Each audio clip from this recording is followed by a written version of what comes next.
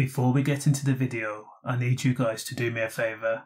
Number one, get this video to at least 200 likes. Also comment, let me know your thoughts on the case. Now believe me, you cannot make this up, and history has proven there's no honour amongst thieves. So, a 12 year old teenager who acted as part of a gang, along with a 17 year old teenager and also a 16 year old who's still on the run, have been detained and charged with first degree murder with at least three fatal shootings in the Florida area, and worst of all, the victims and the accused were all known to each other. Now, the victims are said to be 16 year old Layla Silvernail and a 17 year old boy who has not been named, and also a 16 year old Camille Quarles. So, 17 year old Robert LeAndrew and 12 year old Christopher Dye Atkins were marched out of a police station to a scrum of waiting news reporters. As the bewildered 17 year old Robert LeAndrew was taken to a waiting police car, he was heard asking the officer, Who are they? The officer then replied, The news.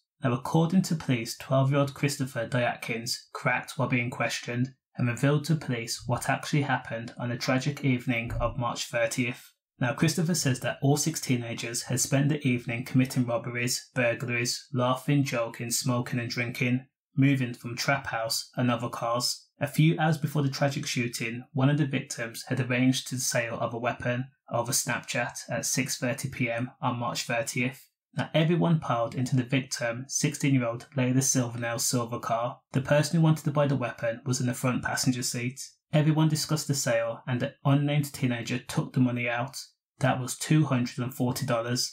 Now he expected to receive the pistol, but instead, the butt of the weapon was smashed across his face by a teenager wearing a mask. The buyer was then told to give up all his money, his phone, his jewellery. He did. The unnamed teenager saw an opportunity and then he quickly opened the car door and then made a run for it.